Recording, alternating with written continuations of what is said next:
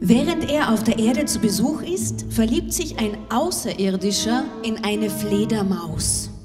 Sie bekommen ein Baby und nennen es Ai Ai.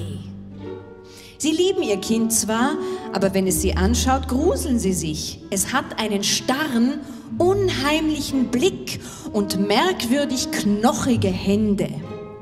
Dann lernt Ai Ai das Sprechen und fängt auch sofort an zu lügen. Die besorgten Eltern sind entsetzt über seine Dreistigkeit und gehen hilfesuchend zu einer Fee, die einen Bann über Ai Ai legt. Jedes Mal, wenn er lügt, wächst sein Mittelfinger um einen Zentimeter. Ai Ai jedoch lässt das Lügen nicht. Im Gegenteil, er fängt zudem an zu schimpfen, zu lästern und überhaupt wird sein Benehmen immer schlimmer. Er entdeckt, dass er sich mit jedem Zentimeter besser und besser in der Nase bohren kann.